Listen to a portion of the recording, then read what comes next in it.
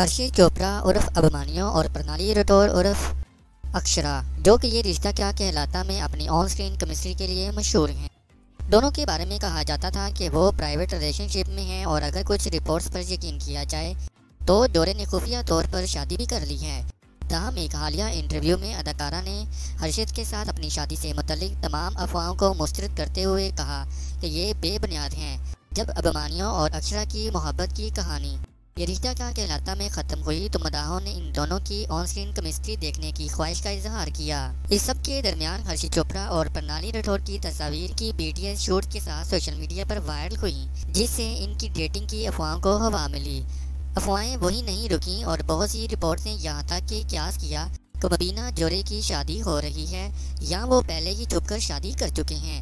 اگرچہ ہرشید اور پرنالی رٹھور ان افواہوں کی تردید کرتے ہیں، لیکن وہ کبھی دفن نہیں ہوئیں۔ تاہم ٹیلی ٹاک کے ساتھ ایک حالیہ انٹرویو میں پرنالی رٹھور نے افواہوں پر توجہ دی اور انہیں سختی سے مسترد کیا۔ جب ان سے پوچھا گیا کہ ان کی شادی ہرشی چوپڑا سے ہوئی ہے، تو اداکارہ نے واضح کیا کہ یہ افواہیں بے بنیاد ہیں اور ان کا جلد ہی کسی بھی وقت شادی کرنے کا کوئی ارادہ نہیں ہے۔ اس نے مزید کہا، نہیں بھائی، کوئی شادی وادی نہیں ہو رہی۔ ہم بہت اچھے دوست ہیں۔ اور یہ افواہیں بالکل بے بنیاد ہیں۔ کسی چیز پر یقین نہ کریں، مجھے تصدیق کے لیے کافی کالز اور ڈی ایم مصول ہوئے ہیں۔ تو نہیں، کوئی شادی نہیں ہو رہی۔ میں بہت سنگل ہوں اور میرا ابھی بھی شادی کرنے کا کوئی ارادہ نہیں ہے۔ برسٹر بابو اداکارہ سے ان کے ساتھی اداکار ہرشی چوپڑا کے ساتھ۔ ان کی آن سکرین کیمسٹری کے بارے میں مزید سوال کیا گیا اور پوچھا گیا کہ یہ جوڑی ڈیٹنگ کر رہی ہے، تاہم مداحوں کی میوسی پر اداکارہ نے ان افواہوں کی بھی تردید کر دی ہے۔ اس نے کہا کہ اس کے والدین بھی جانتے ہیں کہ ان کے درمیان کچھ نہیں ہے اور وہ صرف اچھے دوست ہیں۔ اس کا حوالہ دینے کے لیے ماما پاپا بھی جانتے ہیں کہ ہمارے درمیان کچھ بھی نہیں ہے۔ پرستار ہم سے بہت پیار کرتے ہیں۔ مجھے حقیقت پسند ہے کہ وہ سوشل میڈیا پر بہت زیادہ ترمیم کرتے ہیں۔